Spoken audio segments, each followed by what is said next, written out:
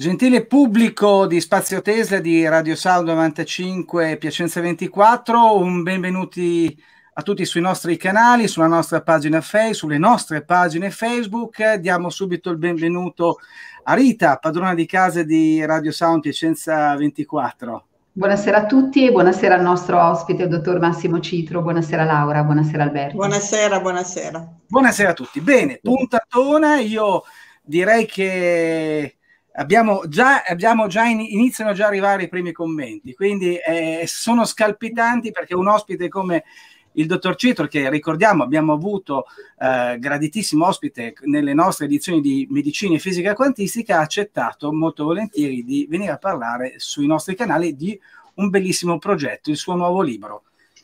Laura, a te.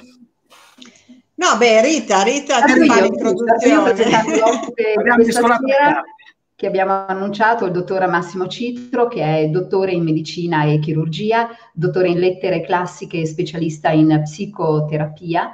Massimo Citro vive e lavora a Torino, è ricercatore scientifico ed è anche lo scopritore del TFF, che è il trasferimento farmacologico frequenziale.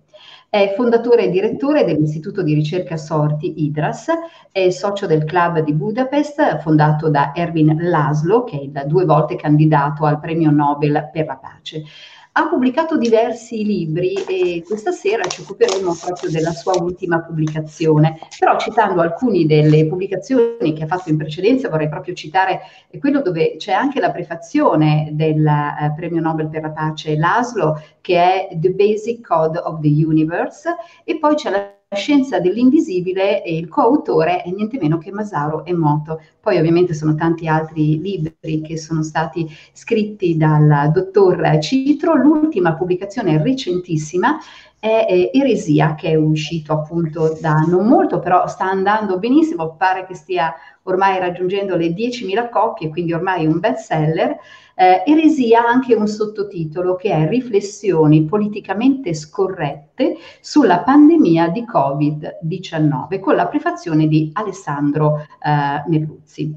Sul, diciamo che è un libro che parla di virus, parla ovviamente di questo periodo che stiamo vivendo, parla di virus, parla di coincidenze, parla di fatti, parla di effetti psicologici, tra i quali la paura e il terrore, ma parla anche di una, insomma, di cose che potrebbero essere considerate un po' complottistiche, mi permetta dottore, perché immagino che tante altre persone le avranno eh, probabilmente fatto l'appunto di quanto alcune cose che sono riportate nel suo libro sono poi quelle che vengono considerate le teorie complottistiche che stanno girando da quando è uscita la pandemia Covid-19. Io adesso darei però la parola a Laura per cominciare con le prime domande.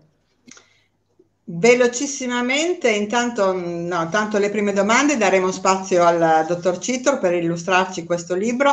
Volevo partire dal titolo Eresia, perché è una parola eretico che ha sempre eh, i più conoscono come, come un'accezione negativa, invece nella sua origine eresia voleva semplicemente dire scelta, quindi capacità, libero arbitrio, scegliere e poi con l'avvento di, di, di, una determinata corrente cattolica, questo e non solo, ha preso questa connotazione negativa. Quindi il titolo eresia di fatto eh, qualcuno potrebbe interpretare in maniera negativa, ma in realtà non è così. Eh, volevo ricordare che la rivincita di questa parola eh, è stata data nel 2014 da Don Ciotti il quale appunto aveva restituito dignità questo, e valore positivo a questa parola, dicendo in un raduno di giovani vi auguro di essere eretici.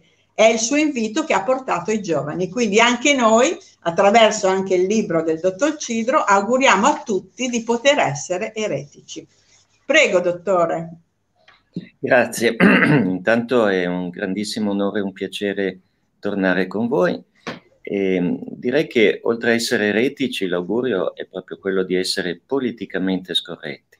Perché vedete, la, eh, questa dicitura che, che, va di moda da tempo, fa parte della neolingua del sistema attuale, eh, va a coprire le verità. Cioè, eh, essere politicamente corretti oggi vuol dire continuare a portare avanti delle menzogne, in generale. E allora essere un po' finalmente scorretti vuol dire cercare la verità. Ecco, il libro nasce proprio da questa esigenza di cercare la verità. Lo so che la seconda parte, che è dedicata al sistema, è, può essere interpretata come complottismo, ma non c'è nulla di complottistico e, o di inventato nel libro, è tutto eh, documentato, è un'analisi eh, storica quella della seconda parte, che eh, fa vedere come nasce questo pensiero oggi dominante di queste elite che il, mm, configurano l'oligarchia tecnocratica che oggi comanda il mondo, come nascono storicamente, ancora hanno delle radici nel 1700 e poi nell'Ottocento con la Fabian Society, e poi sono descritte anche le, le più importanti ehm, diciamo, strategie di propaganda e di condizionamento delle masse. E questo è importante che si venga a sapere, perché quando il sistema eh, ci dice attraverso la propaganda determinate cose, sapendo quali sono le strategie che sta mettendo in atto, riusciamo a capire che non sta dicendo la verità. E attenzione che ci sono poi anche, sempre nel condizionamento, i famosi catalizzatori emotivi, che sono a volte delle semplici parole messe ad arte e devono poi eh, muovere certe emozioni, come ad esempio il senso di pietà o il senso di colpa, la paura stessa. Quindi a volte basta veramente un piccolo particolare per giocare a livello psicologico in maniera negativa. Eh, ci sarebbe molto da dire su questo, ma non so, se volete possiamo cominciare a raccontare perché questo, tra l'altro lo faccio vedere visto che ce l'abbiamo qui, il, la copertina.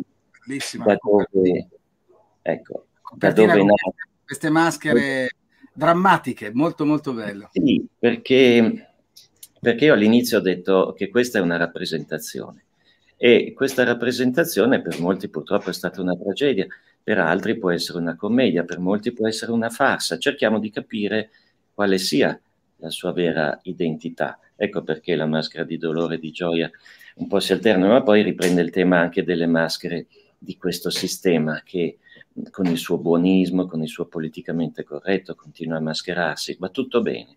Noi siamo eh, come dice un, un, noto filosofo francese, Philippe eh, Mouret, noi siamo eh, affetti da un bene incurabile a tutti i livelli, quindi bisogna veramente scrollarci di dosso questa ipocrisia e cercare la verità. Ecco dov'è l'eresia.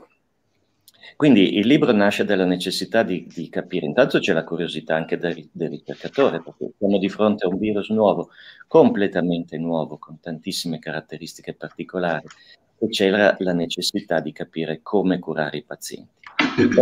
Si può dire oggi, e che interessa penso di più la gente nel pratico, che questa malattia, e questo è dimostrato, non c'è nulla di fantastico, questa malattia ehm, può dare nel 90% circa dei casi una sindrome di tipo influenzale.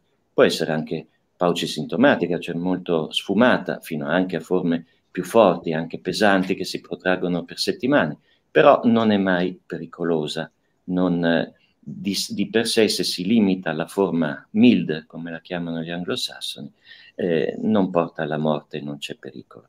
E, però un 10% circa di questi malati possono evolvere, a volte anche nel giro di poche ore o giorni, nel, nella forma severa, che è quella che eh, poi richiede ricovero in ospedale e tutto quello che noi abbiamo visto eh, attraverso i media, eccetera, e può portare anche alla morte. Quindi bisogna evitare di arrivare a quella forma eh, severa, complicata. Noi sappiamo che tutte le influenze tendono a complicarsi. Qualunque influenza stagionale può evolvere in una polmonite. Però qui l'evoluzione è molto più grave, perché il tipo di polmonite, le tromboembolie e praticamente è una malattia nella sua forma grave cosiddetta multiorgano, perché può colpire qualunque organo dell'organismo. Quindi la, non è importante, come si continua a propagandare da più di un anno, cercare di evitare il contagio. Il contagio è impossibile bloccarlo nel caso di un patogeno come questo che è estremamente contagioso. Cioè, o lo si tiene fuori dai confini di una nazione, come ha fatto ad esempio Taiwan, che non l'ha fatto entrare, e se l'è cavata con 7 morti e 496 infettati. Sono dati ufficiali di Taipei che troverete sul, nel libro. Oppure, una volta che è entrato, non ha senso fare queste chiusure. Noi praticamente siamo da più di un anno in quarantena continua. E non ha nessun senso perché non abbiamo visto né la riduzione del numero dei malati e dei morti, anzi siamo pari la nazione che in proporzione ha più, più morti eh, rispetto alle altre, ma neanche la riduzione del tempo di contagio di, di, di, di epidemia. Quindi se noi paragoniamo quello che ha fatto l'Italia con ad esempio altri stati che non hanno fatto chiusure, prendiamo la Svezia che è quella più citata, non c'è differenza. Quindi non esiste una, come dire, una giustificazione dal punto di vista clinico-scientifico a questa continua ossessiva, per non dire isterica, chiusura, che sta mandando sull'astrico migliaia di famiglie, che sta mandando sull'astrico l'Italia stessa, per non citare poi tutto l'aspetto depressivo, psicologico della gente che ormai si sta abituando a vivere isolata, distanziata, ognuno per sé, homo homini lupus, aggressioni uno con l'altro, hai la mascherina, non ce l'hai, sei un untore, cioè stanno seminando veramente il terrore, ma anche l'aggressività, cioè proprio l'opposto di quello che un sistema corretto dovrebbe fare. Eh, le ansie, le paure, mh, mm, insomma, abbiamo visto un po' tutti questa situazione. Allora, tornando dal punto di vista clinico, si può prevenire e si può anche curare. Allora, la prevenzione che ho visto che di solito è quello che interessa di più nel pratico. La si fa con determinate, prima di tutto con la dieta. Questa è una cosa molto importante che il sistema ha omesso di dire. Qui mi riferisco proprio al CTS, mi riferisco all'AIFA, all'SSN e a tutti i vari organi del Ministero della Salute e quant'altro. Cioè, la medicina più saggia, quella di un tempo, ha sempre detto questo. Quello che importa è il terreno biochimico di, del paziente, ovvero due persone, una intossicata e l'altra no, faccio un esempio molto eh, schematico, che vengono esposte alla stessa carica virale, in questo caso, uno si ammala e l'altro no perché? Perché quello è intossicato e quindi si ammala. Intossicazione vuol dire che abbiamo un numero, una quantità di tossine, quindi di veleni nel nostro corpo superiore alla capacità di smaltimento. Ed ecco che allora il patogeno diventa addirittura per il nostro corpo un, un fatto benefico come sua partenza. Perché? Perché svolge la funzione del fiammifero che deve accendere il grande fuoco, infiammazione che deve depurare il nostro corpo da tutti questi rifiuti accumulati. Sono, questi sono concetti di fisiologia che risalgono ancora al 1800, non sono mai stati smentiti. Posso citare Claude Bernard, uno dei più grandi fisiologi. Ecco, quindi questo andava ricordato sia ai pazienti sia ai medici. Disintossicate i vostri pazienti, metteteli a dieta e il medico poi deve sapere per, per ogni suo paziente cosa vuol dire mettersi a dieta e come drenarli, ovvero come disintossicarli. Dopodiché ci sono delle sostanze molto semplici e anche economiche che possono eh, aiutare a prevenire l'infezione o comunque a non evolvere verso la forma grave. E prima di tutto la vitamina D3, la quale è così stata fino all'anno scorso bistrattata dal sistema che l'ha addirittura bollata di poter essere tossica in dosi fisiologiche, peraltro, e che invece è stata rivalutata per fortuna da questa situazione. Pensate che dopo un anno circa di, di epidemia, ci sono eh, più di 300 studi pubblicati che attestano il ruolo benefico della vitamina D nella prevenzione e anche nella cura. Posso citare l'ultimo studio pubblicato a gennaio da Giannini a Padova su questo e parliamo di casi che erano già ospedalizzati, già gravi. Quindi noi abbiamo sui nostri pazienti in tutto questo anno abbiamo consigliato e li abbiamo messi quasi praticamente tutti in protezione con 40.000 unità al giorno di vitamina D3, però attenzione protette da almeno 400 microgrammi di K2, che è una vitamina che evita il, l'accumulo di calcio che potrebbe eh, provo- essere provocato da un eccesso di vitamina D3. Quindi questo eh, vedete, anche la fisiologia, la biochimica lo, lo sta con, confermando, perché eh, queste complicanze della, di questa forma severa di malattia sono eh, quasi tutte, direi, so, con un meccanismo avvengono di tipo autoimmune, molto simili, sia la polmonite, le tromboembolie, ormai si sanno queste cose. Quindi uno dei mediatori, le famose citochine, che eh, sono mediatrici del, dell'autoimmunità, oltre all'interleuchina 1 e la 6, che sono quelle tipiche dell'infiammazione, è la famosa interleuchina 17, la cui grande antagonista è la vitamina D. Ecco spiegato uno dei motivi per cui la D funziona, oltre al fatto che stimola la catelicidina, che è una sostanza antinfettiva già di suo, e insomma ha tantissimi effetti che potete trovare poi eventualmente in dettaglio nel libro. Lo zinco è importante perché si sa, sono tutte cose che si sanno da, da tanti anni queste. Lo zinco ha un'azione sia di inibizione di quella che si chiama la clearance mucociliare. Cosa vuol dire? Sono quei movimenti che hanno quelle specie di, di ciglia delle nostre cellule dell'apparato respiratorio che muovendosi scacciano, tendono a scacciare i patogeni che cercano di aggredirle. Quindi tengono lontano fisicamente il virus ma soprattutto lo zinco cosa fa? Va a bloccare l'RNA polimerasi, che è quell'enzima nella cellula che duplica, moltiplica i virus RNA come questo. E, e questo lo si sa da moltissimi anni, quindi c'è da chiedersi perché non è mai stato detto. Durante la, già dopo la prima SARS, quindi parliamo di 18 anni fa circa, eh, si sapeva ed è stato pubblicato sia il ruolo della vitamina D, sia il ruolo dello zinco e anche della famosa idrossiclorochina. E qui arriviamo al protocollo di Didier Raoul, quindi non siamo più nella prevenzione, ma siamo nella terapia.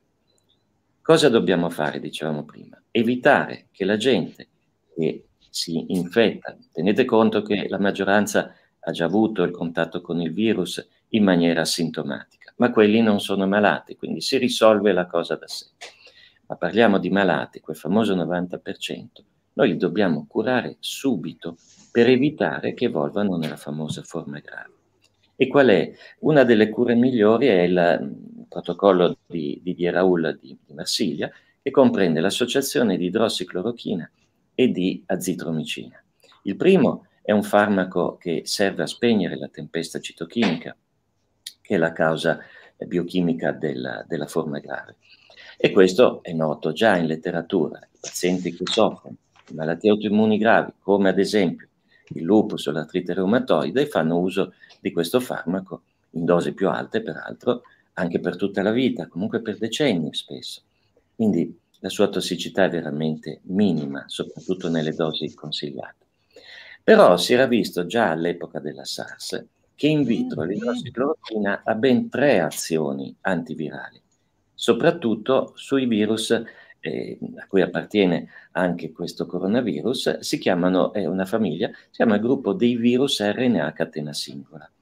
Quindi ha un'azione di questo genere anche su Ebola, Zika, Sull'HIV ci sono delle pubblicazioni riguardo l'AIDS e comunque tutti i coronavirus, quindi la SARS, la MERS, la Covid-19, anche il, um, l'RSV, il virus eh, respiratorio sinciziale, anche eh, quello della dengue, eccetera.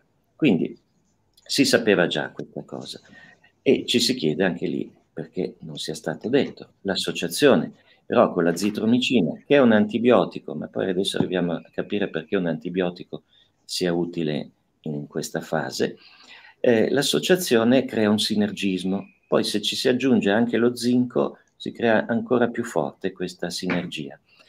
E nel giro di tre, massimo cinque giorni, in genere abbiamo visto i nostri pazienti guarire con questa associazione. Si può dire che ci sono dei casi dove l'idrossiclorochina può essere controindicata, casi costituzionali del paziente come il favismo o altre situazioni di tipo ereditario, soprattutto se ci fosse o una grave insufficienza renale o eh, più frequentemente delle aritmie cardiache o il paziente fa uso di antiaritmici, in questo caso conviene eh, non rischiare, anche se per pochi giorni, perché c'è un, molto meno dell'1% di rischio di problemi cardiaci, però è meglio evitare e si può usare il cortisone sempre anche in associazione con la zitromicina. Il cortisone è quello che più di tutti i farmaci che conosciamo spegne la famosa tempesta citochinica. Non ha pare quell'azione antivirale, però è comunque un farmaco importantissimo. In questo modo possiamo cercare di fermare questa, eh, questa infezione sul nascere. Però la terapia deve iniziare nelle primissime ore, ai primissimi sintomi. Vedete, a volte eh, uno ha dei sintomi specifici e viene preso per una normale influenza, perché esistono anche ancora le influenze stagionali, non è che siano sparite, tutto ormai sembra che sia Covid, qualunque malattia, però esistono anche quelle.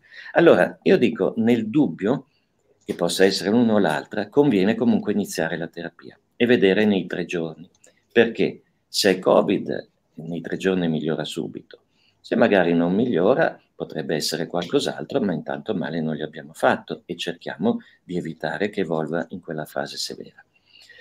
Questo direi come discorso di base. Perché la zitromicina e comunque l'antibiotico in genere, questo è forse è l'antibiotico di elezione, ma comunque perché usare un antibiotico? Nei casi di malattie virali di solito si dice sì, può prevenire le sovrainfezioni batteriche, no, e c'è un altro motivo. Il motivo è che intanto anche la zitromicina ha un'azione antivirale, soprattutto l'avevano mh, pubblicato, ci sono poi riferimenti su certi tipi di virus, anche qui RNA a catena singola. Ma poi i lavori di Carlo Brogna, che sono stati pubblicati a gennaio, hanno eh, dimostrato quello che altri studi negli ultimi mesi dell'anno 2020 avevano suggerito, e cioè che prima di tutto i coronavirus, questo si sa, sono dei virus intestinali. Attenzione che non sono virus respiratori come è stato propagandato l'arrivo, diciamo, l'attacco al ehm, sistema respiratorio è secondario all'infezione intestinale. Quindi i virus, i coronavirus sono sempre intestinali, il primo attacco è lì. E soprattutto però si è visto, grazie a Brogna, che questi, eh, questo tipo di coronavirus, il SARS-CoV-2, parassita i batteri intestinali. Poi non solo quelli intestinali, ma lì è, la, è diciamo, il numero più grande di, di, di flora che abbiamo e li fa fare, fa fare a loro quello che lui vuole, cioè il, i veleni, le tossine eh, pericolose per il nostro organismo nella forma severa, appunto, sono prodotti dai batteri intestinali, ma su indicazione del virus, che si comporta come un fago, eh, vuol dire un virus che si, è come se atterrasse sulla superficie del, del batterio e poi inoculasse come con una siringa il proprio RNA e da lì poi comincia a duplicarsi. Ecco perché l'antibiotico può funzionare bene perché agisce, bisogna agire anche sui batteri. E io aggiungo anche i probiotici, ecco di nuovo il discorso della dieta, ecco, questo è un po' l'inquadramento generale. Mm, dottor Poi, Citro, ma a questo punto mi chiedo, i vaccini allora potevano anche essere evitati o sono importanti? Ah, se andiamo sui vaccini, poi magari finirò tutta questa parte, ma se andiamo ecco, subito sui vaccini... Dottor, dottore, mi perdoni un attimo perché intanto eh, ci sono, cominciano ad arrivare alcune domande che poi io magari vi girerò e tra l'altro me ne è arrivata una via WhatsApp di un biologo proprio per eh, l'ennesima morte per emorragia cerebrale eh, a causa trombotica di una ragazza di Genova, ma magari ne parliamo, ne parliamo dopo. Prego, dottore. No, per finire allora c'è ovviamente l'eparina nel, nel, nelle cure importanti da fare anche come prevenzione e, ehm, e poi vedete questa, questi protocolli che sono stati eh, costruiti e inviati ai medici, a tutti i colleghi della mutua o dell'ospedale, quindi attraverso il sistema sanitario nazionale, sono veramente sbagliati. Sono, io li ho, li ho definiti protocolli di morte. Perché? perché impongono di attendere per tre giorni come minimo prima di dare del cortisone. Allora, i protocolli eh, escludono a priori la idrossiclorochina e la zitromicina. Il perché lo troverete nel libro e c'è tutto il capitolo sullo scandalo del cosiddetto Lancet Gate, poi se volete ne parliamo, che è una, una questione a livello scientifico gravissima anche a livello etico e giuridico, che è successa tra maggio e giugno dello scorso anno. Quindi hanno attaccato in tutti i modi l'idrossiclorochina e i derivati della china in genere perché sono fra i farmaci più efficaci nel, nel combattere questo virus. Da una parte hanno escluso quelli, dall'altra hanno detto il cortisone si può dare ma non prima di 72 ore. Perché? Non c'è una motivazione, anzi se noi dessimo subito il cortisone o l'idrossiclorochina, il paziente in 72 ore è quasi sempre già guarito. Quindi c'è proprio una volontà chiara di far ammalare la gente e farla evolvere verso la forma grave. E qui poi si aggiunge la ciliegina sulla torta, che è il consiglio di usare la tachipirina, il paracetamolo, che è completamente sbagliato come idea, perché non solo non serve, ma può peggiorare, e molte volte, più delle volte lo fa, anche a basse dosi, la situazione già precaria del soggetto. Il soggetto in uno stato parliamo dell'infezione lieve che può evolvere in quella grave, è in una situazione di perossidazione, dove ha in genere una carenza grave, quasi tutti ce l'abbiamo se non lo si reintegra, di glutatione ridotto, che è uno dei più forti antiossidanti, ma è anche un antivirale fortissimo. E quindi la tachipirina, che è il suo antagonista, nel giro di poche ore a volte può portarci al di sotto del livello di guardia di glutatione e quindi favorire l'evoluzione verso la forma grave. Tutto questo è in letteratura già dagli anni Ottanta, ma non solo. Eh, ultimamente, e forse nel libro però non, non c'è perché è, un, è un, un, articolo recente del professor Piero Sestili dell'Università di Urbino, c'è proprio visto il meccanismo con cui il glutatione riesce a eh, ridurre l'affinità della proteina spike, che è la parte più tossica e pericolosa di questo virus, ai nostri recettori AC2 e va a bloccare il, l'aggancio, diciamo, del virus. Quindi è stato costruito veramente tutto l'opposto di quello che si dovrebbe fare per impedire l'evoluzione nella fase grave. E sembra davvero che ci sia quindi una volontà di aggravare, di creare un certo numero di morti per giustificare de- de- determinate azioni anche sul piano giuridico, sul piano eh, legislativo e così via. Quindi tutto questo dovrebbe essere poi studiato non da un medico, ma dal magistrato, perché non si giustifica. Allora, o è un prodotto dell'ignoranza di questi esperti, ma non credo, visto che sono i migliori esperti che abbiamo, oppure ci sono delle volontà, ripeto, non è complottismo, è osservare i fatti. Qualcuno deve spiegarmi perché non si vuole curare la gente la, la, gente, se viene curata, non evolve nella fase severa. E non sono l'unico a dirlo, sono un sacco di colleghi che stanno. Certo, aggiungo anche questo, eh, come controrisposta di solito dicono sì, ma non ci sono lavori pubblicati, randomizzati, controllati in doppio cieco, eccetera, che attestino questo. Vero? Però vedete, di fronte a un'epidemia, di fronte a una situazione grave come è stata dipinta questa attuale, dove la gente muore, chi se ne frega del fatto che non ci siano questi lavori? È sul campo che quando c'è un'epidemia il medico deve agire e agisce con tutti i mezzi che ha a disposizione e che ritiene in scienza e coscienza utili.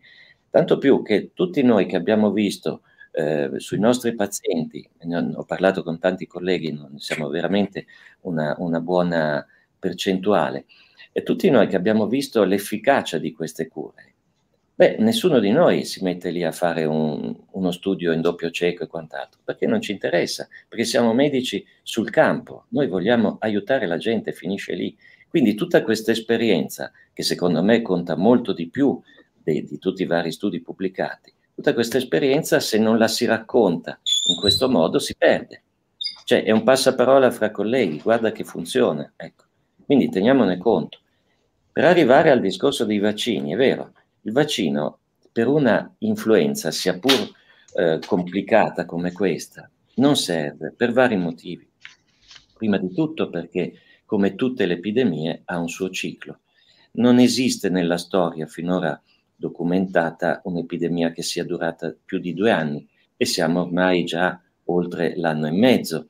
Quindi entro l'autunno di quest'anno fisiologicamente l'epidemia dovrà finire nota a piedi pagina, qualcuno dovrebbe anche chiedersi perché in Cina, da dove tutto è partito, è durata 3-4 mesi ed è finita lì e non c'è più stata la seconda, la terza, la quarta ondata e le varianti e tutto quello che, a cui assistiamo qui. Qualcuno dovrebbe anche spiegarlo, ma va bene.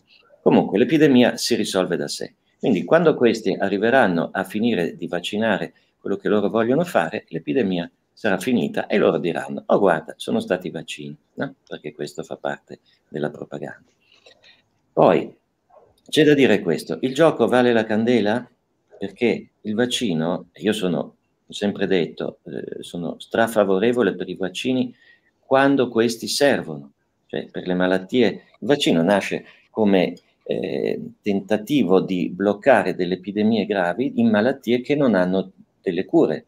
Ricordiamoci il vaiolo, che fu il primo vaccino, tutte le, le morti, le stragi di milioni di persone nella storia dell'umanità, il vaiolo, la polio e, e quant'altro. Ma su un'influenza non ha senso, perché i rischi qui superano i famosi benefici, che i benefici poi sono zero dal momento che la cosa comunque si risolve da sé. E quindi entriamo nel capitolo dei rischi. Ormai un pochino tutti hanno, sentito parlare di questa famosa ADE. ADE è la sigla in inglese di Antibody Dependent Enhancement, che vuol dire un, un aggravamento della malattia dipendente dall'anticorpo. Eh, tra l'altro la sigla in inglese suona anche molto eh, funerea nel, nella lingua italiana perché ci riporta all'Ade, all'oltretomba degli antichi greci. Ecco, quindi già di per sé forse non è un caso. Però questo è uno dei pericoli più gravi. Vedete, eh, la maggior parte della gente, dicevamo prima, ha avuto l'infezione in maniera sintomatica. Dopodiché ci sono anche quelli che hanno avuto l'infezione in maniera sintomatica, quindi che sono malati, ammalati, e che però hanno avuto la cronicizzazione di questa malattia. Di questo se ne parla poco, ma è più pericolosa questa situazione rispetto a quella della fase acuta, che comunque si risolve nel giro di pochi giorni. Cosa vuol dire cronicizzazione? Che il virus si è adattato all'organismo e si trova facilmente nei batteri famosi intestinali, quindi continua a vivere all'interno di quello, o addirittura può integrarsi nel nostro DNA. Pur essendo un virus RNA, non è un retrovirus, ma si comporta come un retrovirus. E questo, questo fatto è stato eh, chiarito da uno studio pubblicato a dicembre dell'anno scorso, eh, che, che, attesta che questo virus, dimostra che questo virus può integrarsi nel nostro DNA. Allora, una volta che si è integrato nel DNA, oltre a tutti i pasticci che può produrre a distanza di tempo, perché a seconda di dove si integra, questo si sa, potrebbe scombinare dei geni e magari slatentizzare dei geni pericolosi che possono sviluppare nel, negli anni malattie, ma soprattutto una volta che lì, lui convive con noi e quindi è suscettibile di eh, uscire, di, eh, come si dice, riattivarsi, quindi risvegliarsi e attenzione che si può risvegliare per un'interferenza virale. Quindi se incontra un altro virus o soprattutto se immettiamo anche solo una parte del virus, parliamo del vaccino famoso vettoriale di AstraZeneca, ad esempio, che introduce la spike. La spike di per sé è la parte, diciamo prima, più tossica. È un trimero, cioè fatto di tre proteine, di tre subunità, che però hanno già di per sé una caratteristica mh, di essere patogene per il sistema nervoso e, e, per quello cardiocircolatorio. Quindi già di suo è cardiotossica e neurotossica. Ora, che sia un fenomeno spontaneo dal virus o che sia perché i batteri intestinali che fagocitano il virus poi sputano fuori, ve lo faccio un po' a fumetto, delle sue parti proteiche, come ad esempio la spike, a questo punto la spike si comporta come un prione, diventa un, un veleno che circola per il sangue, per il corpo. Il, virus non pare che circoli nel nostro corpo liberamente, circola attraverso i batteri ma una sua parte come la spike sì. Quindi iniettare, come fa il, il vaccino vettoriale, la, la, parte più velenosa del, del, di questo batterio, di, di questo virus, la parte più, più tossica, vuol dire esporre a un rischio grave diretto dovuto alla proteina e poi al rischio appunto dell'ADE, che avviene quando il soggetto è già stato eh, in qualche modo vaccinato dall'incontro o asintomatico o da malato con il virus. Però attenzione che gli anticorpi che vengono prodotti dai virus a RNA a catena singola possono essere, eh, si dice in gergo, subottimali. Perché?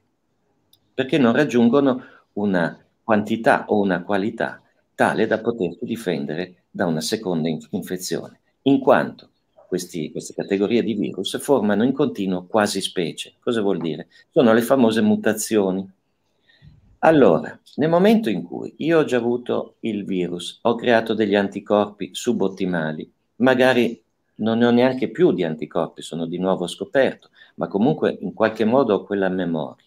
Cosa succede?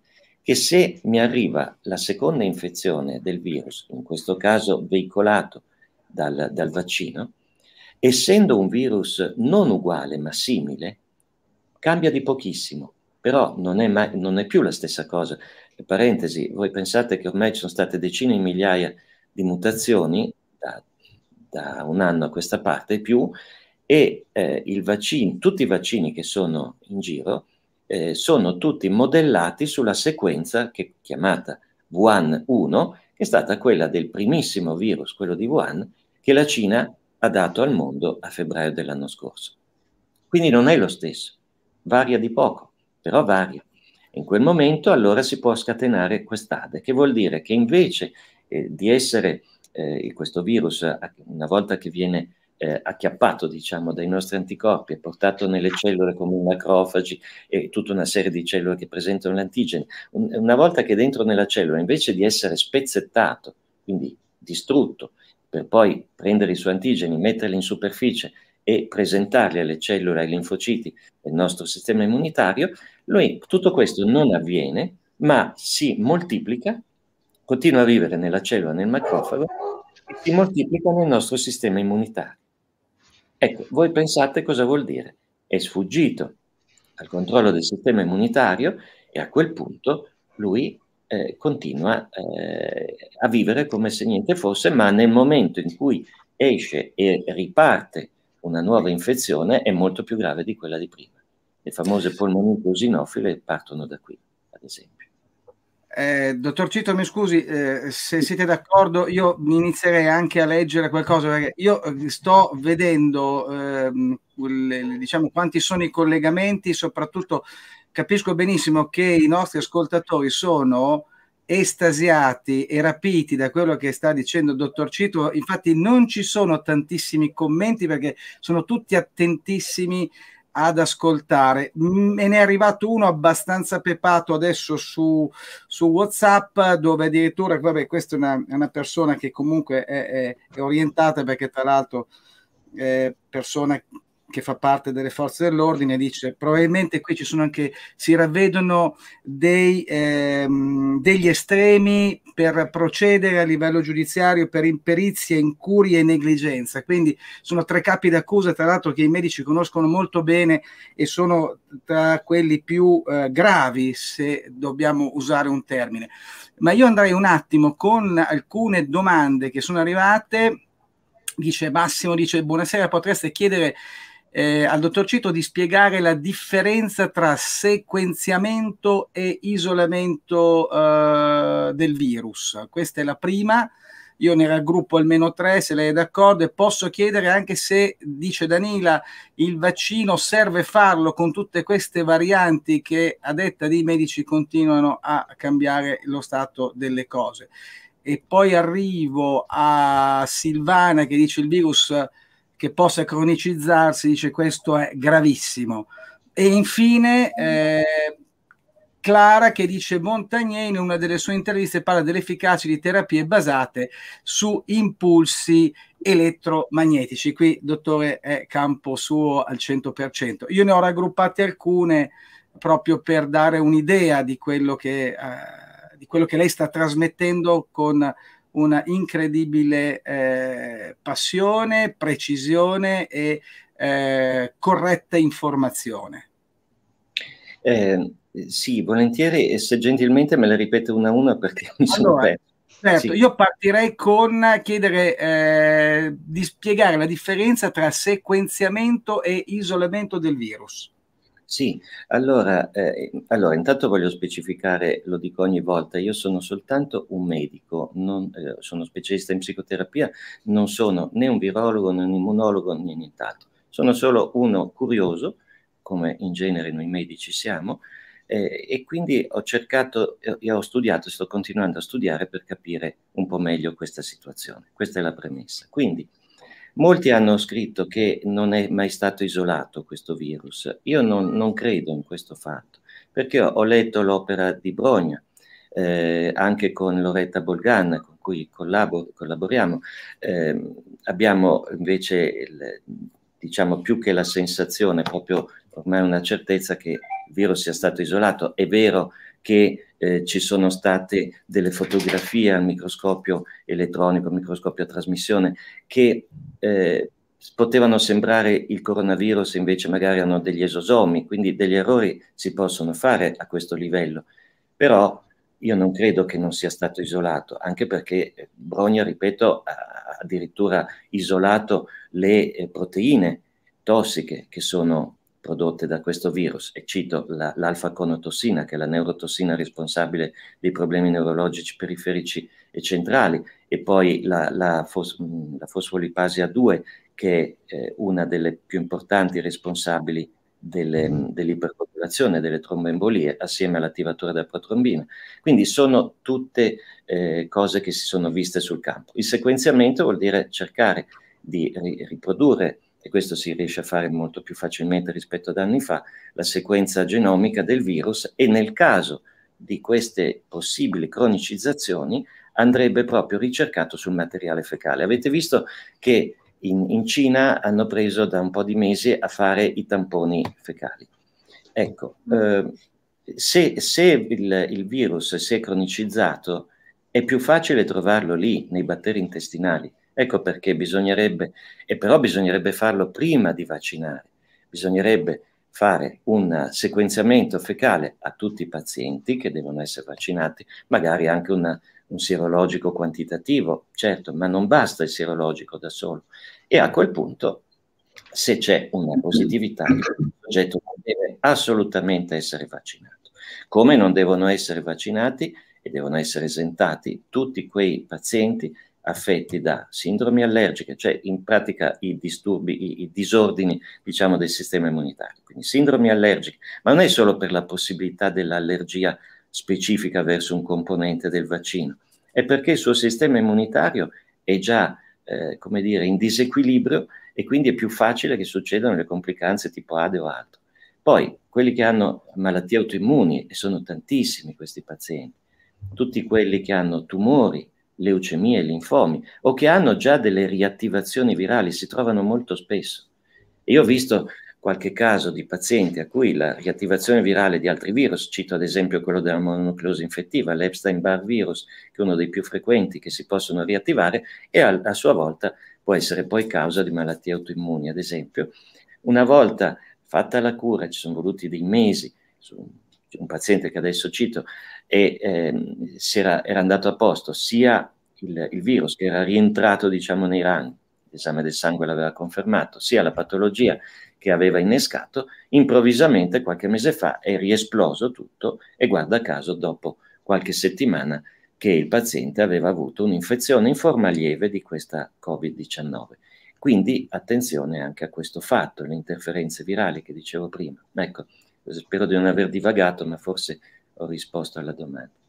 Mm, passerei alla seconda con Daniele che chiede eh, con tutte queste varianti eh, se è quindi utile o no fare il vaccino. In parte abbiamo già risposto, però se ci vogliamo ritornare un attimo.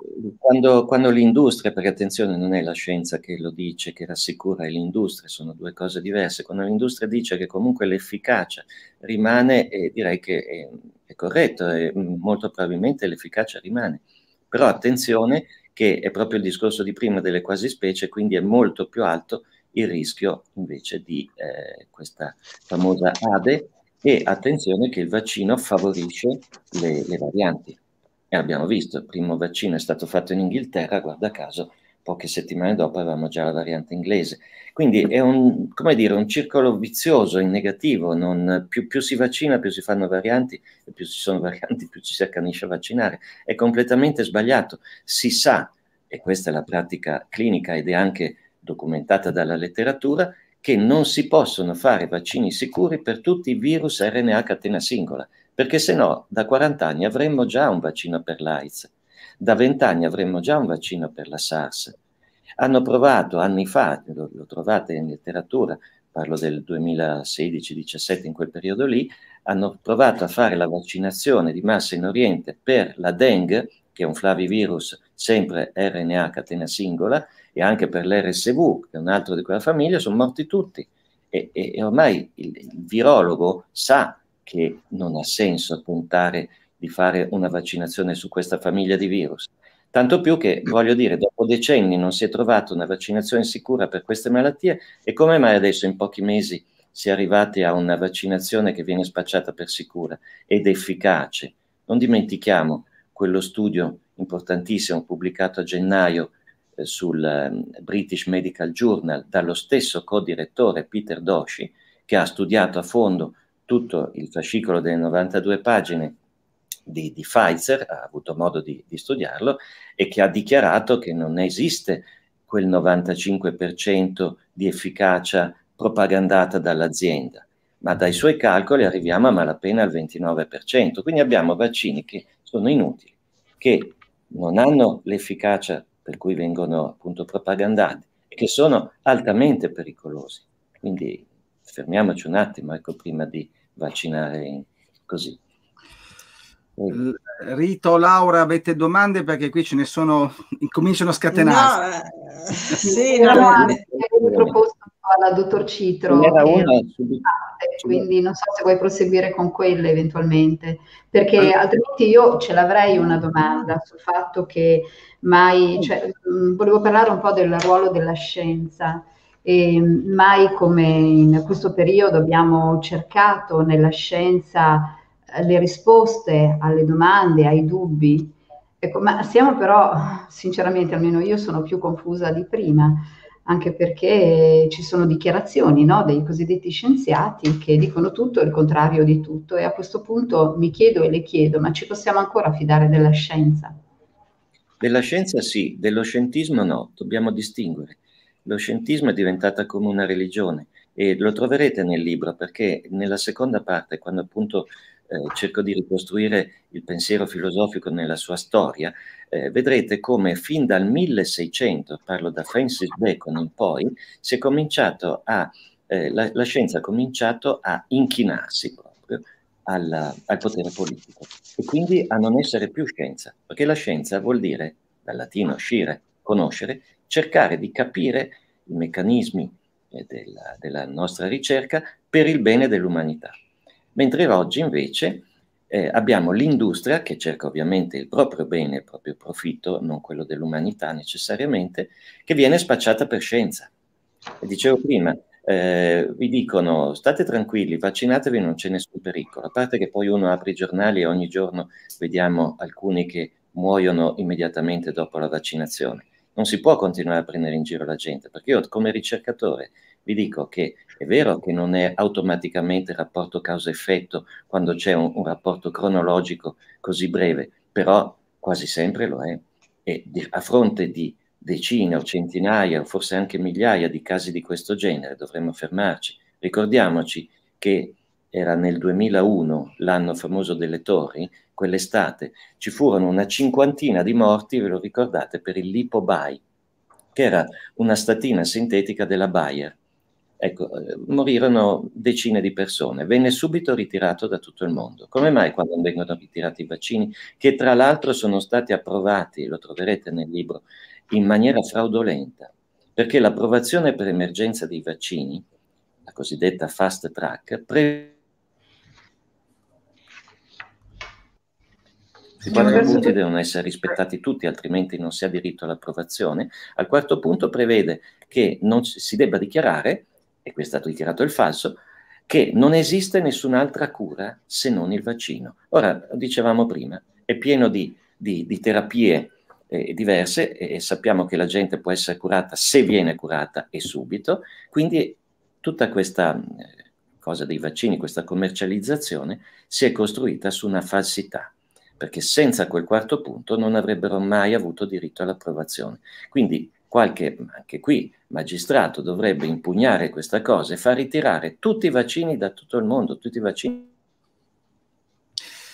Abbiamo, eh, abbiamo qualche problema, difficoltà. Abbiamo una qualche difficoltà con uh, il dottor Cito. Speriamo che non sia causa di, di, di tempeste magnetiche particolari. Tempe, tempeste citochiniche. Eh, no, allora, io volevo magari contattare con lui su WhatsApp per fargli sapere che c'è un problema e se può eh, sì. ovviamente ricollegarsi con il codice che ha. Eh, ma penso, penso, che si sia, penso che si sia accorto che è uscito. Certo, però magari giusto per ecco, verificare. Sta arrivando, sta arrivando, sta arrivando. Eccolo, eccolo qua.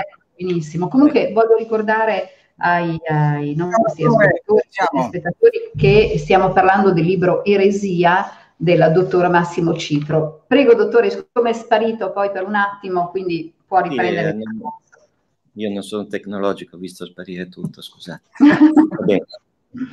ok, niente, stavo dicendo, quindi mh, anche questo fatto. Per cui, tornando alla domanda, la scienza non è lo scientismo e non è eh, l'industria. Eh, aggiungo anche, lo troverete, che il, um, il sistema ha giocato sui termini, e questa è una tipica strategia di condizionamento di massa, fin dall'inizio. Eh, vedete che quasi tutti ormai gli stessi virologi dicono il Covid. State attenti, eh, questo è importante. Quando invece noi sappiamo che Covid è un termine inglese che significa coronavirus disease, quindi è femminile in italiano e connota la malattia da virus, da questo virus mentre invece il virus, che è maschile, si chiama SARS-CoV-2. Il Covid non esiste, è una crasi di questi due termini che è priva di significato. Quindi quando uno dice il Covid non si capisce se parla della malattia o del virus. Mm. E uno dirà, vabbè, non è importante, invece è importantissimo perché troverete poi nel libro che le statistiche sui morti sono state giocate proprio su questa ambiguità dei termini. Quindi andate a vedere sul sito ufficiale del Ministero e de, del, um, eh, come Superiore di Sanità, voi trovate che hanno sempre scritto tot numero di morti positivi al SARS-CoV-2, non hanno mai scritto morti di Covid, quindi morti della malattia, erano morti con la positività del virus, che vuol dire che anche quello che è morto, perché è morto in un incidente stradale, combinazione era un portatore sano, era sintomatico, aveva il tampone positivo, viene catalogato poi da noi come morto di quella malattia. Ma siamo noi che lo estrapoliamo perché ci hanno messo in confusione i due termini. Però il, eh, lo Stato scrive, semplicemente si limita a dire sono morti con il virus. Poi i giornalisti, i media dicono eh, allora è morto di quello. Dobbiamo stare molto attenti a cosa si dice. Quindi, stessa cosa, eh, l'industria non è la scienza, quindi, eh, Dottore, immagino che lei non si sia vaccinato, non abbia intenzione di vaccinarsi e adesso il um, vaccino è diventato, diventa legge, insomma, sostanzialmente, quindi obbligatorio per il personale sanitario e per tutti gli operatori del sistema della sanità. Lei cosa intende fare e cosa ne pensa anche di questa obbligatorietà? Obbligatorietà è contro la legge, quindi è un'ennesima prova del fatto che siamo in una dittatura eh, dove la democrazia è soltanto un ricordo, ma siamo ormai governati, e, e sfido chiunque a dimostrare il contrario, da oligarchia, quindi da un, un gruppo di, di, di persone, eh, un'elite, come dicevo prima, eh, soprattutto finanziaria, che decide ormai quello che, che, che deve essere fatto. Non, il Parlamento non esiste più, lo Stato non esiste più, eccetera. Quindi cosa fare? E si andrà avanti a livello, que- quelli che lavoreranno saranno gli avvocati e i magistrati, perché è intollerabile questo fatto, che per una epidemia curabile si debba obbligare la gente a rischiare la propria vita con il ricatto morale se non lo fai ammali gli altri. Non è affatto vero, non è affatto vero. Ecco, quindi bisogna... Ecco sì. No, volevo eh, dire, sì, no, vo- volevo dire che comunque è uscito anche sui canali, quelli detti ufficiali, che effettivamente il, il vaccino non ci dà la garanzia che eh, possa rendere immuni. Infatti c'è stata la dichiarazione di medici che sono stati vaccinati eppure hanno contagiato dei, dei reparti. Quindi cioè, mh, è un'assurdità, è un controsenso che si voglia continuamente, continuamente a dire che è obbligatorio fare un vaccino quando loro stesso dichiarano eh, adesso io non mi ricordo il nome del medico che ha detto questa cosa, ma l'ha detta su Rai 3 o comunque sulle reti ufficiali, eh, se vogliamo appunto identificarle ufficiali, quindi non quelle complottiste, no? come non sulle reti complottiste che eh, medici che sono stati vaccinati hanno comunque contagiato. Quindi, eh, e c'era in prima fila, mi ricordo, la ministra Lorenzin che si guardava intorno un po' così destabilizzata per dire cosa sta dicendo, no? Non, forse non si può dire, ecco, quindi...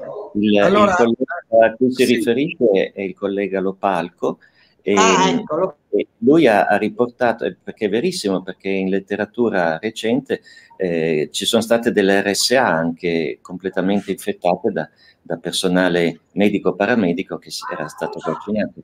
Quindi, vedete, se uno mh, pretendesse con la forza di eh, obbligare alla vaccinazione, il soggetto deve rispondere prima di tutto deve esigere tutti gli esami che dicevo prima, cominciare dal sequenziamento, eccetera, ma poi deve dire all'altro, ma tu come puoi garantirmi che non mi succederà niente, né adesso né nei prossimi anni? Perché non c'è letteratura, non c'è esperienza, abbiamo degli impianti igienici impropriamente spacciati per vaccini, mi riferisco all'mRNA sintetico di Pfizer, Moderna e CureVac, che eh, non hanno letteratura, quindi stiamo facendo una sperimentazione sull'essere umano in questo momento, che è contro l'etica, contro la legge, contro i principi della medicina. La fase 3 famosa viene effettuata adesso e finirà nel dicembre 2022 per Moderna e nel 2023 per Pfizer. Quindi la gente deve sapere che sta facendo una sperimentazione, si vaccina a loro rischio e pericolo. Allora io direi all'altro,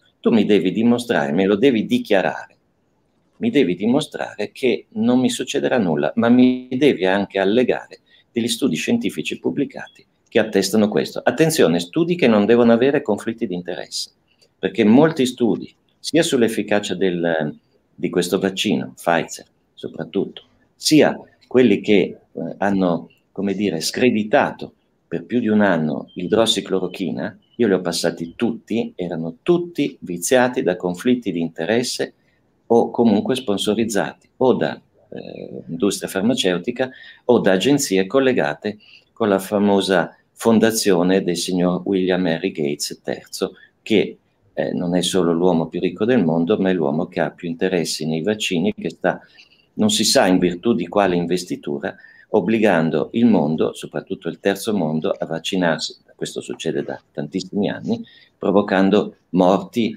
e, e, e, e, disastri di ogni genere che sono riportati anche nel libro. Ecco, quindi eh, ribaltiamo la, la palla all'avversario, dimostrami tu che non succederà nulla nel mio futuro da vaccinato. Volevo eh, rispondere alle domande che però... Avverrà da parte della massa, comunque sia. E anche se qualcuno di noi dovesse fare questa domanda, non ci danno una risposta. Una risposta Beh, allora uno non firma il famoso consenso libero informato che tra l'altro non, essendo, non è più libero in quanto uno è eh, costretto a, a, firmarlo, quindi essendo eh, esatto. oggetto di costrizione sarebbe un falso firmare un, un certificato che è detto libero. Ma io penso che ognuno di noi debba pretenderlo, perché vedete, se guardate questa legge, eh, questo decreto legge che è uscito il primo aprile, Beh, è, è tutto basato sull'ideologia di ehm, salvare la comunità, ma non c'è una parola, tranne l'articolo, il comma 2, eh, che è quello che appunto dice casi di, di malattie eh, che possono essere esentate, ma non c'è una parola di rassicurazione o di presa di, di, dire, di interesse nei confronti del singolo, che invece deve immolarsi nei confronti della comunità. Ma questo neanche nel peggiore comunismo penso che sia mai No. Eh, dottore Biccardoni, perché stiamo arrivando quasi in conclusione. E... le domande a cui volevo rispondere, le, quelle eh, che mi aveva detto. Sì, sì.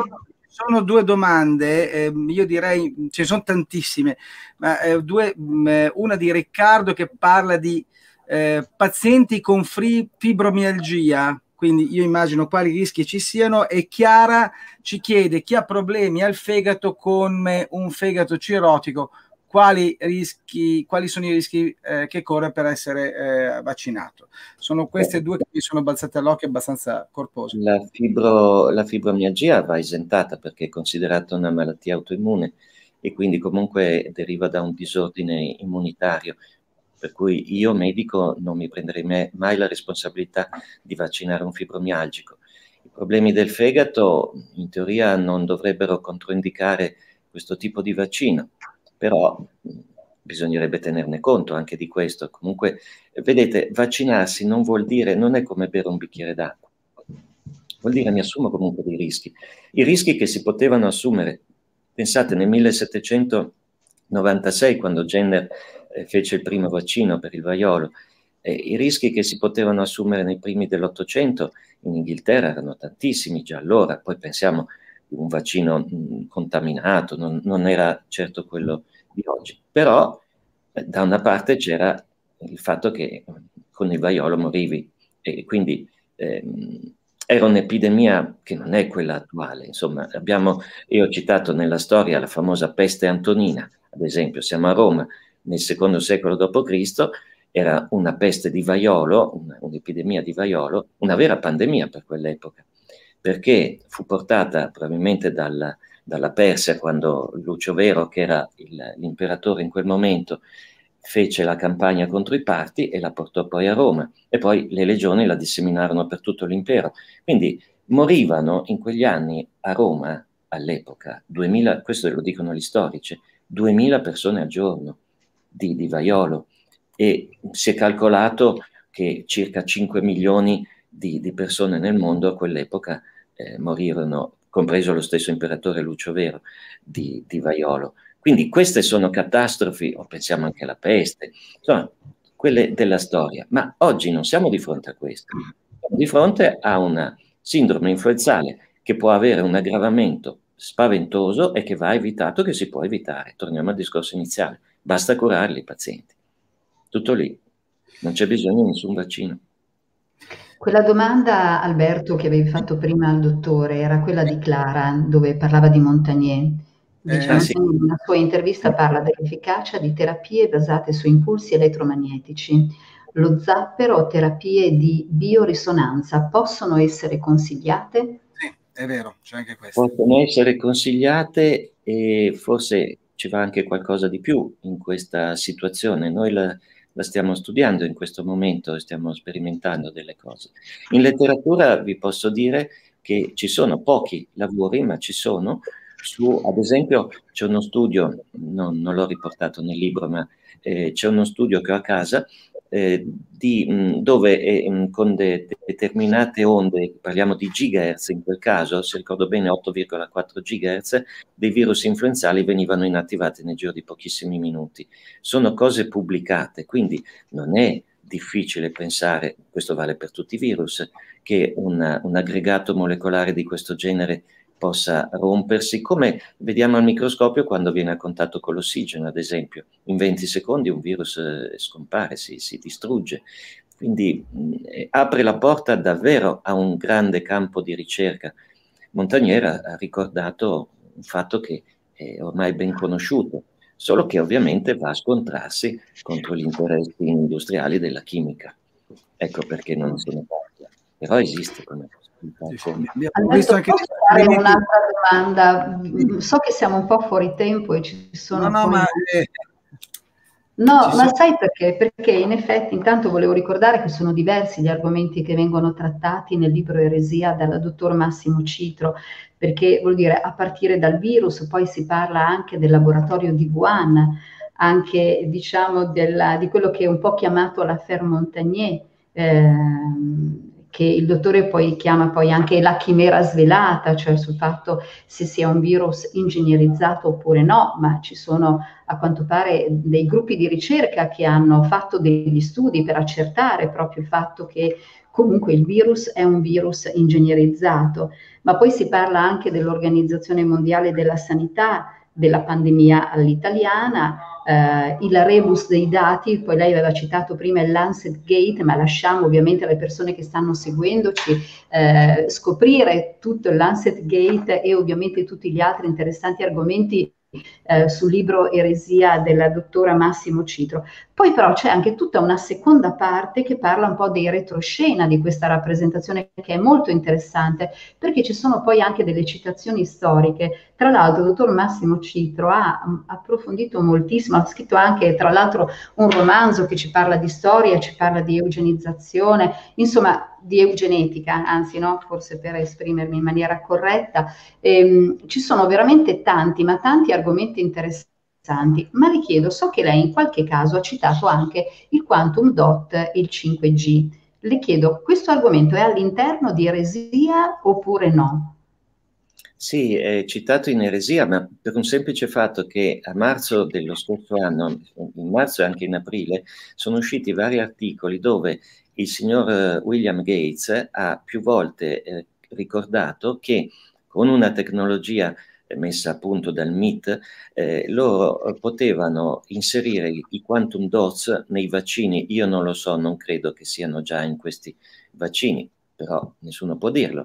Eh, cosa sono questi quantum dots? Eh, Gates parlava, quindi non è complottismo, perché lui stesso che lo No, sta... infatti, siccome stasera abbiamo parlato di tanti argomenti che vengono poi in qualche modo classificati, sì. per così dire, ecco, no? no? non eh, dobbiamo permettere queste derive, perché il libro ha più di 500 citazioni bibliografiche, esatto. quindi no, non si possono eh, negare le cose che sono pubblicate. Quindi, tornando ai quantum dots, è stato proprio Gates ad annunciare questo inserimento nei, nei, vaccini, che dovrebbero essere sotto forma di tatuaggi invisibili, se non agli infrarossi, e in questo modo il soggetto avrebbe eh, la, la, codificazione di, di, quello che è stato iniettato, quindi con un lettore infrarossi uno può dall'epidermide dedurre eh, se è stato eh, vaccinato, quando, come e in che modo, eccetera.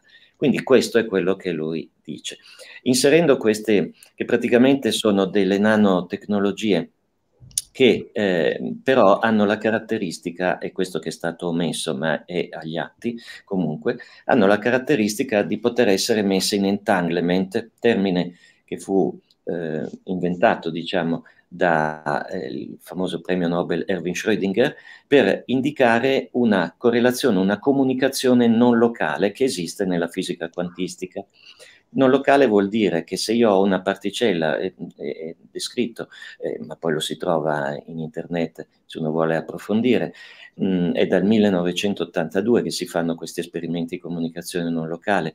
Se io mh, mm, prendo due particelle eh, imparentate, perché magari sono due particelle gemelle nate da un'unica eh, particella iniziale, e una la metto a Parigi, fu mm, fatto mm. il primo esperimento eh, da Alena Specht nell'82, e l'altra la porto lontanissimo, ad esempio negli Stati Uniti, a New York, e a quel punto eh, faccio qualcosa di fisico sulla prima particella, mettiamo quella di Parigi, le due non possono comunicare attraverso eh, una eh, tutti quei chilometri, non, non, non, è pensabile questa cosa, ma se io eh, altero il suo spin attraverso dei campi elettromagnetici su una delle due, anche l'altra in contemporanea, nello stesso momento, in tempo reale, si altera senza che nessuno le abbia fatto nulla. Questo cosa vuol dire? in via teorica, se, sottolineo come diceva Mina, sottolineo se, hanno messo o metteranno un domani nei vaccini questi quantum dots, Beh, eh, la possibilità che siano stati messi in entanglement è reale, prima della, di, di, della vaccinazione ovviamente. In entanglement vuol dire che se Rita, mettiamo, viene vaccinata per, eh, questo, mh, mm, per un qualsiasi eh, patogeno e dentro ci sono queste nanoparticelle in entanglement, vuol dire che nel suo corpo vita naturale durante rimarranno e se Rita si comporta bene non succederà nulla ma se incomincia a essere politicamente scorretta, comunque a dare fastidio al sistema, è plausibile, ipotizzabile che qualcuno dall'altra parte del mondo possa, in, in, come dire, eh, alterare il suo equilibrio psicofisico attraverso delle frequenze che viaggiano in tempo reale per la, il famoso entanglement di Schrödinger che dicevo prima. Ecco, molto sinteticamente questo, ma se ne potrebbe parlare molto più diffusamente. Teniamo anche conto che, come stavo dicendo prima, questo virus è comunque ingegnerizzato. Su questo non ci sono dubbi. La storia dell'HIV è stata ritrovata da almeno altri nove gruppi di ricerca diversi. Ma poi vedete, i coronavirus sono delle, delle entità non viventi, ma sono de, delle entità che esistono da milioni di anni, dalla preistoria. e nei loro passaggi, facendo le famose quasi specie, quindi sono molto vivaci, si, eh, si, alterano in continuo, nei loro passaggi nelle varie specie animali si sono tirati dietro nel, nel, DNA, nel loro RNA, nel loro genoma, eh, sequenze di qualunque tipo. Però, quindi è facile trovare sequenze strane in un coronavirus, però che questo SARS-CoV-2 sia l'unico tra i coronavirus ad avere almeno quattro brevi sequenze dell'HIV, si è dimostrato, beh, questo è molto particolare, non è una mutazione, non può essere naturale. Ma se poi aggiungiamo le, quelle delle conotossine che ha mh, scoperto Bronia, che sono delle tipiche neurotossine delle lumache coniche dei mari tropicali e subtropicali, uno si chiede che cosa ci sta a fare in un coronavirus, eh, una di quelle lì, la fosfolipasia 2 che è un veleno di serpente, cioè sono tutte cose troppo particolari. Ecco.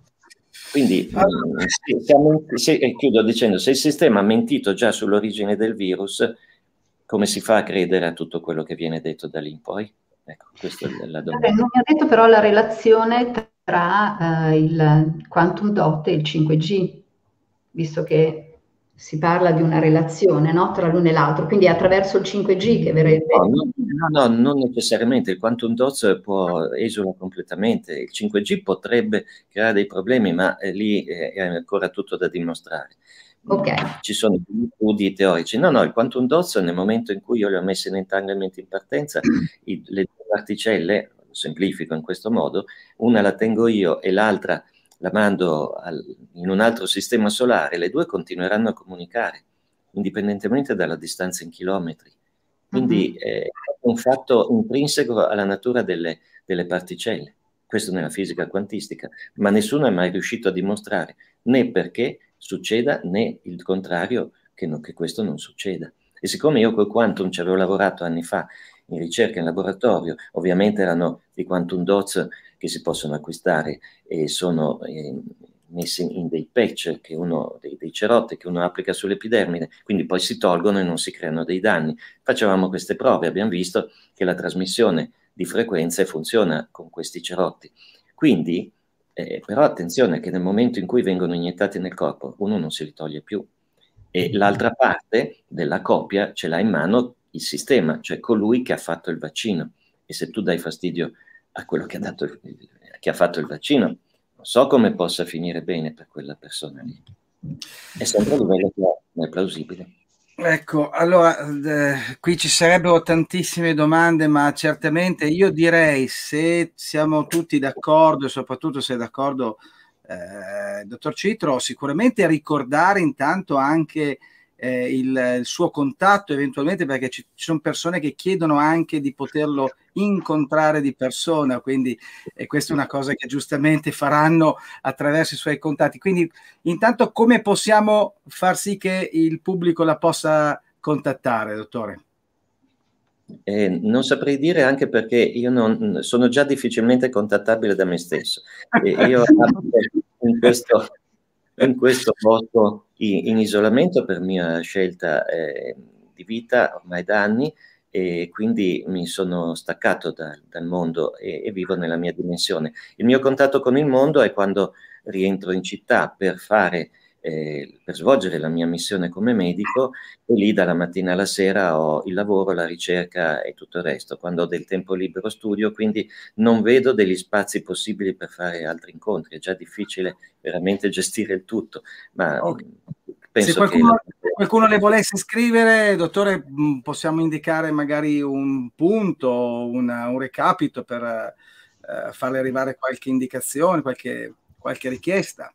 Ma direi al momento no, perché già, già ne stanno arrivando cose che non, non, saprei come gestire. Ringrazio davvero tantissimo, no, ma non è, mo- è, molto corretto quello che lei sta dicendo. Allora, tra chi sulle, sulla chat vorrebbe mandare in galera i politici e non, i ministri e non, e invece chi, eh, giustamente, lasciamo lo spazio certamente a tutti, le libera la libera volontà e, di espressione e ritorna preponderante anche quella parte legata all'energia, cioè eh, Andrea dice bisognerebbe tornare a percepire le energie delle persone ben più importanti delle parole che loro dicono. L'energia non può mentire e forse anche un po' la cura eh, che potremmo dispensare per cercare di galvanizzarci, di schermarci di fronte a tutte quelle notizie negative che sono piovute da tutte le parti, che certamente non hanno aiutato le persone ad uscire da questo impasse. E ci saluta anche questo bellissimo gattone. Allora, io risponderei dicendo questo. È corretto il discorso dell'energia, ma voglio ricordare che noi siamo quell'energia e che la prima cosa che dobbiamo fare, secondo me, è buttare le televisioni, tutto questo clamore mediatico del mainstream che tra l'altro è falso per la maggior parte, ma mh, è fatto per condizionare. Ritroviamo noi stessi, ho riportato la frase del Petrarca che amo tantissimo, quando scrive restituisci te a te medesimo, restituiamoci, però nel silenzio, ecco perché uno deve veramente isolarsi da tutto questo. È l'unico modo per sottrarsi ai colpi beceri e grossolani da parte del sistema e nello stesso tempo riprendere la coscienza che noi siamo entità spirituali che interpretano per un breve periodo sullo scenario, sul palcoscenico di questo universo, interpretano un personaggio.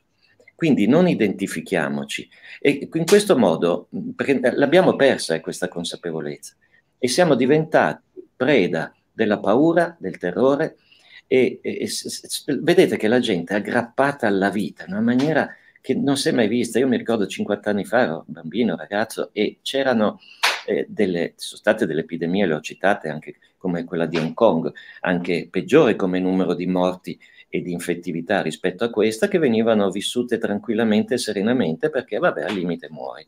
Cioè, oggi eh, sembra un delitto dire questa cosa, ma non, cioè, non dobbiamo restare così aggrappati alle cose, Devo, devo, per forza fare quello che mi obbligano a fare perché sennò mi danno la multa. Ma, ma, ma, chi se ne frega? Ti stanno portando via la libertà, la vita. Noi siamo entità non di questo mondo. Voglio ricordare la frase che in tutti i Vangeli è che l'insegnamento di Gesù, e non sto parlando di Chiesa perché la Chiesa è completamente assente in questa storia, anzi è completamente contraria alla gente, perché un, una Chiesa che si permette di obbligare i fedeli alla vaccinazione non solo ha infranto il concordato dei patelateranensi, ma è contrario alla sua missione spirituale, perché si sta occupando di cose che non la riguardano. Ma non parlo di Chiesa, io parlo del Vangelo di Gesù, tutto quello perché siamo cristiani, potrei citare altri maestri eh, di altre filosofie o religioni, che ci dice siete nel mondo ma non siete di questo mondo. Vogliamo ricordarci che non siamo di questo mondo e che questa gente non potrà mai farci nulla? Se al limite ti ammazzano, va bene, ma cosa hanno cambiato? Non toccano nostra, il nostro essere anima, il nostro essere spirito. Non possono farlo. Possono toglierti delle cose materiali. Noi ce ne infischiamo perché tanto è una realtà virtuale. Anzi, per concludere il discorso che ho iniziato su Quantum Dots, sappiamo bene perché la fisica, di oggi, così come la filosofia di ieri, non fa altro che, e l'avevamo detto anche quando ero venuto da voi a Piacenza, non fa altro che ricordarci che questo universo non esiste in realtà, è una realtà virtuale, è una realtà olografica, frattalica e non locale. Quindi siamo dentro un sogno, una rappresentazione, la stiamo prendendo troppo sul serio. Riprendiamo la nostra dignità non solo di esseri umani, ma soprattutto di esseri spirituali. Scusate, ma secondo me ci voleva. Assolutamente. No, assolutamente. Pertinentissima perché stanno arrivando tantissime eh, azioni proprio di speranza su quello che lei, di ringraziamento su quello che lei sta dicendo, dottore. Ci sono anche dei saluti e questi bisogna farli perché ci sono dei, degli amici che hanno necessità di far arrivare il loro saluto. Uno è la dottoressa Amanda Castello, uno è, uno è il, l'amico Giampiero eh, Giorgio Terziani e, e, poi abbiamo Emiliano Toso, il biologo che lei conosce bene. Ciao Emiliano. Li abbraccio, li abbraccio forte tutti e tre, li ringrazio. Li abbiamo tutti qua. Allora, io lascerei alle donne la chiusura, prego. Vai Laura. No, beh, eh, l'aspetto spirituale toccato dal dottor Citro sapevo che sarebbe stato fatto, anzi era assolutamente auspicabile il fatto appunto di ricordarci che siamo in questo mondo ma non ne facciamo parte, quindi questo è importante.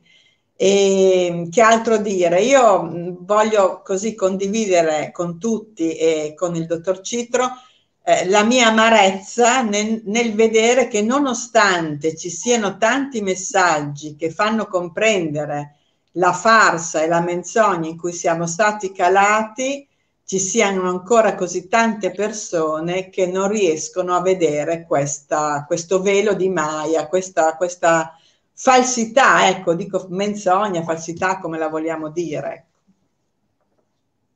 Eh beh, sì, è la favola del re nudo. Eh, quando il sistema ti condiziona, eh, pensate a quelli che stanno giorno e notte davanti alla televisione, ormai è una ragione di vita, questa epidemia se gliela togli non sanno più che cosa fare. Quindi ehm, quando sono così condizionati, loro vedono quello che non c'è e non vedono quello che c'è eh, molti si rifiutano di, di, di, voler vedere. Poi non, non dimentichiamo che sono, c'è una grande percentuale della popolazione che vive nel sistema, che vive grazie al sistema. Voi pensate che i giornalisti che raccontano le menzogne sui giornali, sui vari canali dell'informazione eh, siano, siano degli stupidi? No, è gente che è obbligata a scrivere quelle cose, perché sennò perdono il posto. O così i colleghi in ospedale che sono obbligati a fare certe cose. Sì, ma, no, ma l'abbiamo visto anche con eh, colleghi che parlano in televisione. Io non ho la televisione, però ho visto su internet queste cose. Quindi prima dicevano certe cose, poi hanno cambiato parere. Probabilmente lì qualcuno li ha minacciati, li ha messi davanti l'out-out. Cioè se vuoi continuare a essere primario professore universitario, devi allinearti al sistema. È, è, è, lì che il sistema ormai si è radicato, ma non dovevamo permetterglielo. E sono almeno 50 anni che è visibile sempre di più l'azione del sistema. Il popolo viene distratto da, dalle televisioni, da, dai computer, da tutti questi aggeggini malefici, questi ordini che, che, che usano perfino i bambini ormai. Ecco, e, e, quindi non ha possibilità di, di, esercitare uno spirito critico, di ragionare su quello che succede. Io dico solo una cosa, osservate e ragionate, basta, non c'è da credere a questo o a quell'altro. Osservare. Tutto lì. C'è una bellissima Beh. fase di chiusura di Fidelio, dice grazie dottor Cito, dopo una brutta giornata, una gioia nella luce. Questo qui penso che sia la, il più bel regalo che ci siamo fatti questa sera con questa chiacchierata assieme a lei. Rita. Grazie, io me lo sono prende spunto ovviamente dal libro scritto dal dottor Massimo Citro che si intitola Eresia, riflessioni politicamente scorrette sulla pandemia di Covid-19. E praticamente queste riflessioni, come abbiamo sentito anche durante questa serata, intendono un po' esortare eh, il lettore a ritornare a considerare i fatti un po' in modo obiettivo e non attraverso il clamore mediatico e anche ad esaminare tutte queste, tutte le coincidenze che ci sono attorno a tutto questo, perché, dice il dottor Citro, quando le coincidenze sono tante è sempre arduo pensare alla fatalità. È così, vero, dottor Citro? Perfetto. È possiamo... così, è così. Eh, ho anche citato, mi pare, la, la, frase di Kennedy che i grandi eventi della storia non accadono, si fanno accadere. E questo è un grande evento, purtroppo. È vero. E anche una frase di Ettore Gotti tedeschi che lei ha citato, che è Nell'epoca dell'inganno, del politicamente corretto, esprimere pensieri politicamente scorretti è il primo e più potente atto, atto rivoluzionario Abbiamo iniziato parlando appunto di eretico, di eresia e terminiamo con questa frase. Dottor Citro, grazie mille per la sua disponibilità, per la sua competenza, per le cose che ci ha raccontato, che troveremo poi ben spiegate e documentate con tutti questi studi scientifici che lei ha voluto anche riportare nel libro Eresia. E quindi ehm, ci sono tanti argomenti che non abbiamo trattato questa sera, ma che sono all'interno di questo libro. Vale la pena ovviamente eh, comprarlo e leggerlo con grandissima attenzione. Poi ognuno di noi potrà ovviamente farsi eh, così, eh, avere una propria opinione dopo avere letto e avere sentito anche l'altra campana e non soltanto quello che ovviamente possiamo sentire dalle televisioni. Io ringrazio voi e, e, voglio ricordare in chiusura di non dimenticare che non siamo di questo mondo, per cui non dobbiamo avere paura del mondo. Il mondo, se volete, glielo possiamo lasciare al sistema, perché loro sarà il mondo, ma nostro è il regno dei cieli, che vuol dire la dimensione reale nella quale noi esistiamo anche in questo momento. Grazie. Grazie, buona serata a tutti, grazie a tutti per averci seguito. Grazie. 15 giorni per una nuova puntata di It From Qubit. Grazie, grazie per l'attenzione e la pazienza. Grazie.